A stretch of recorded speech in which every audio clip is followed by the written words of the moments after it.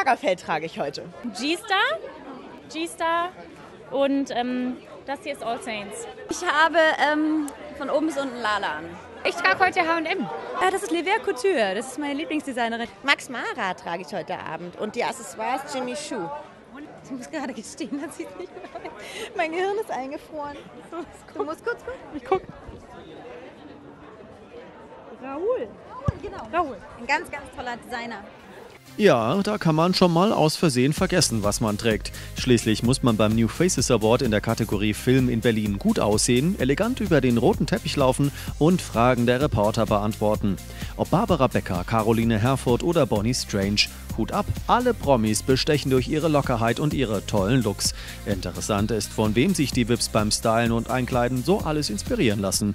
Ich blätter natürlich diverse Zeitungen durch, unter anderem natürlich die InStyle. Ne?